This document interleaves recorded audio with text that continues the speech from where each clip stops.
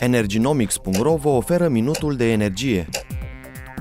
Președintele Autorității Naționale de Reglementare în domeniul energiei, Nicolae Havrileț, a fost declarat incompatibil de Agenția Națională de Integritate, întrucât din iunie 2012 ar fi deținut simultan poziția din ANRE și funcția de director general al firmei Gascop.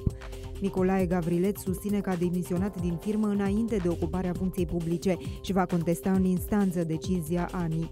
Incompatibilitatea este sancționată cu interzicerea ocupării unei funcții publice timp de trei ani, destituirea ori încetarea mandatului.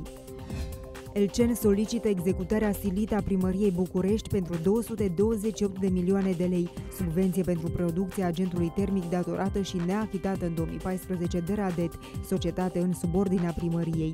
Astfel, în ianuarie, Elcen a notificat Ministerul Dezvoltării cu privire la restul neîncasat din subvenție, iar Ministerul Dezvoltării și Ministerul Finanțelor pot popri încasările din taxe și impozite ale primăriei până când Elcen își recuperează banii. Pentru construcția hidrocentralei Tarnița au depus oferte preliminare și neangajante doar investitori din China, deși compania de proiect anunțase inițial și înscrierea unor finanțatori internaționali. Totodată, guvernul are probleme cu asigurarea contribuției proprii la capitalul social al companiei de proiect.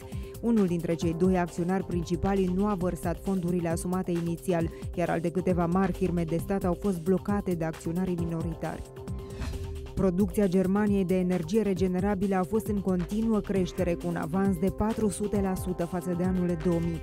Aproximativ 40 de teravați ori au fost generați de sursele regenerabile la acea dată, iar în 2014 nivelul a fost de aproximativ 158 de teravați oră. Din 2013, Germania a instalat aproape 5300 de megavați numai în turbine eoliene. Totuși, randamentul a fost mic, Germania aflându-se pe locul 22 în Uniunea Europeană la acest capitol capitol cu eficiență de 18%.